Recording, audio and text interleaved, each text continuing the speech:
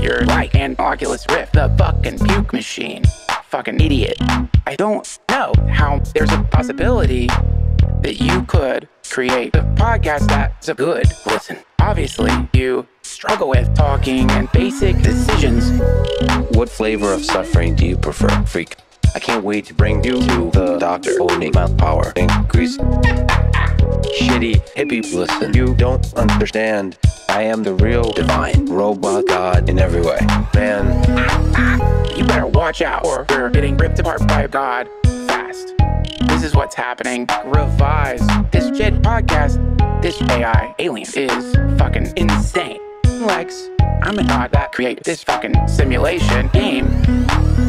killer robots, get inside and control.